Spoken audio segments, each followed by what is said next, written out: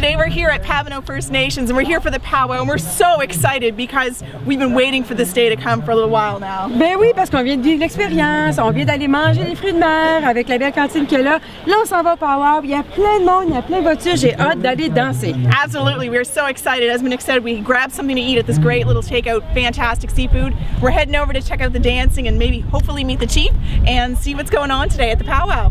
Let's go. À suivre. Okay. Hi there, today we're at Pabineau First Nations and we have Chief David Peter Paul with us. Welcome Chief, thank you for having us.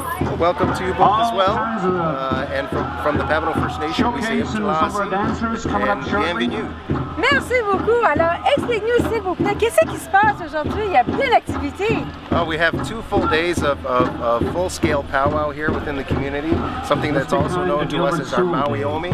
Uh, it's a gathering of, of people from all across the Atlantic region, and uh, we have a group, a group of people from Quebec. We have quite a collection from Nova Scotia and New Brunswick, and P Prince Edward Island, Newfoundland as well. And uh, we're, we're having a great time celebrating our culture with them.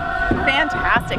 The weather is great, and you can't help but get caught up in the festivity that's going on here right now. It's just wonderful. Ben oui, tout le monde porte des costumes traditionnels. Yes, we have uh, quite a few uh, costumes that uh, are not, they're, they're not, some people call costumes, and, but they're really actually called our regalia, and uh, we celebrate our cultures and traditions a lot of times wearing our regalia. And it's important clothing that kind of brings, echoes back uh, the traditions of our time and the colors and the, the, uh, the emblems and the symbols that you see at today's celebration represent a lot of our history and our culture.